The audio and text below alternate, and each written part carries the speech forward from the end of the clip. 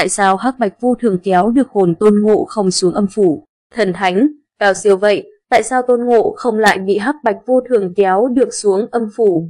Chưa tu thành chính quả, chưa trường sinh, tề thiên đại thánh tôn ngộ không cũng chỉ là con khỉ. Sau khi được Bồ Đề Tổ sư truyền dạy 72 phép địa sát, Tôn Ngộ không làm huyên náo đạo quán đến mức Tổ sư một mực đuổi đi và cấm không được nhắc đến tên thầy. Xuống núi, Tôn Ngộ không kết giao với nhiều bằng hữu trong đó có Ngưu Ma Vương. Tuần Ngộ không ngỏ ý mượn binh khí của các bạn yêu quái để trổ tài. Lấy được định hải thần châm, áo giáp quý ở Long Cung, Tuần Ngộ không về Hoa, Quả Sơn vui vầy với con cháu. Trong lúc Hầu Vương say ngủ đã bị Hắc Bạch vô thường bắt xuống âm phủ.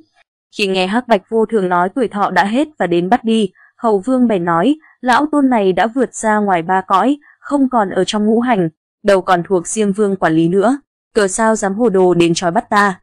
Diêm Vương cất giọng, sinh linh vạn vật đều do ta quản lý. Ta muốn kẻ nào chết ở canh ba thì kẻ đó không sống được đến sáng. Hai quỷ câu hồn ấy cứ một mực lôi kéo Hầu Vương đi, làm Hầu Vương giận dữ, rút ngay bảo bối trong tay ra, vùng lên đánh cho hai quỷ câu hồn nát như tương rồi tự cười trói, và cậy quay vào đánh trong thành, các loại quỷ đầu trâu, mặt ngựa chạy trốn tán loạn. Không chỉ vậy, quá tức giận, Mỹ Hầu Vương đã đại náo âm phủ, xóa hết sổ sinh tử của loài khỉ.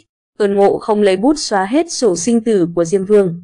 Tuần Ngộ không ngự trị ba cõi tu được thuật trường sinh, lấy được định hải thần châm ở Long Cung. Thần thánh, cao siêu vậy, tại sao Tôn Ngộ không lại bị hắc bạch vô thường kéo được xuống âm phủ? Suy cho cùng, thời điểm đại náo thiên cung, Tôn Ngộ không thực chất cũng chỉ là một con khỉ bình thường bản chất động vật nhưng hơn giống loài là hắn biết đạo Pháp. Chuyện hắc bạch vô thường bắt được Âu cũng là lẽ bình thường. Bởi bản tính ngông ngạo có căn cơ nên Tôn Ngô không ngông cuồng, không sợ hắc bạch vô thường đã đành, còn đánh họ chạy tán loạn. Tuy nhiên, câu chuyện hắc bạch vô thường kéo hồn Tôn Ngộ không xuống địa phủ thực chất là ẩn dụ cho câu chuyện người tu hành đắc đạo. Sinh tử xác thực là thuộc về quá trình mà người tu luyện phải vượt qua. Thạch hầu thiên tư cực cao sở hữu năng lực thoát khỏi sự quản lý của các thần tầng thứ thấp tại địa phủ, vượt qua sinh tử. Thạch hầu tiến bộ cực nhanh, ngay từ đầu đã đạt tới trình độ thoát khỏi sinh tử. Người tu luyện, chỉ cần có kiên trì và sức mạnh thân tâm thì việc thoát khỏi sự sinh tử cũng không phải là việc khó, nhưng đây mới chỉ là sự khởi đầu. Đối với người tu đạo, sinh tử vốn không phải là sự trở ngại, thì từ nhi quy, coi cái chết tựa như sự trở về, thực ra bắt nguồn từ đó. Chết không có gì là đáng sợ hết, tựa như về nhà giống nhau.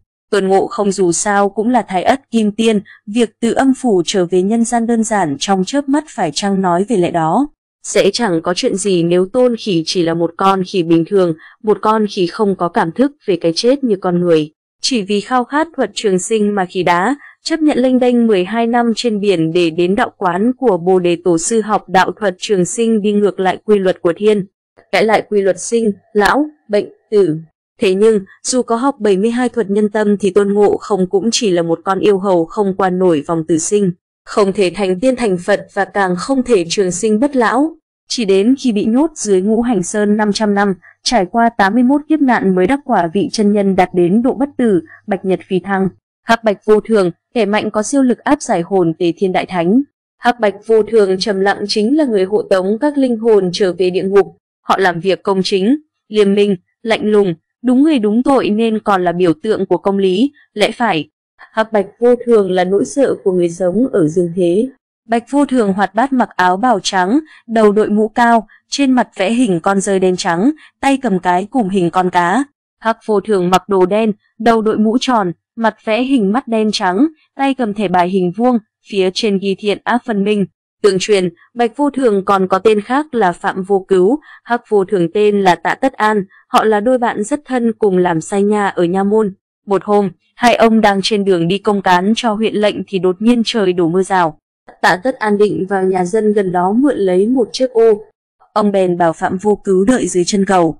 Khi Tạ Tất An vừa đi khỏi thì nước sông đột nhiên dâng cao.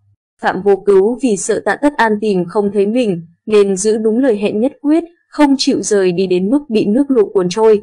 Sau khi tạ tất an cầm ô tất tả chạy tới, phát hiện thấy người bạn thân đã bị nước nhấn chìm, ông vốn định nhảy sông tự tử dùng cái chết để tạ tội. Nhưng do quá cao nên tạ tất an đành phải treo cổ lên dầm cầu. Ngọc Hoàng biết tình cảm sâu đậm của hai người, bèn sắc phong cho họ là thần tướng, hầu hạ bên cạnh Diêm Vương chuyên bắt kẻ xấu. Tương truyền hắc bạch vô thường chuyên đi tuần trên đường lúc đêm hôm khuya khoát để bắt linh hồn những kẻ xấu tới âm tào địa phủ. Tương truyền rằng tấm lòng bạch vô thường rất lương thiện, dẫu người khác có đắc tội ông cũng không để bụng, còn hắc vô thường thì lại rất nóng tính. Đó là do khi nước sông dâng lên cao quá đầu, cận kề cái chết, ông vẫn đang dãy giụa giữa con nước lớn nên sắc mặt chuyển thành màu đỏ đen. Từ đó tình khí trở nên gắt gỏng, không chịu tha thứ cho người phạm tội. Mỗi khi đi chơi hội chùa, trên người tượng hắc bạch vô thường có treo một sâu bánh gọi là bánh cô độc, nhiều người phụ nữ sẽ xin mang về cho trẻ nhỏ trong nhà của mình ăn. Nghe nói ăn rồi có thể khiến cho trẻ nhỏ bình an trong lớn.